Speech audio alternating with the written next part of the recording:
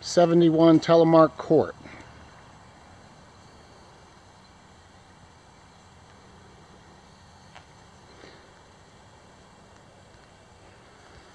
That's Highline Drive up there.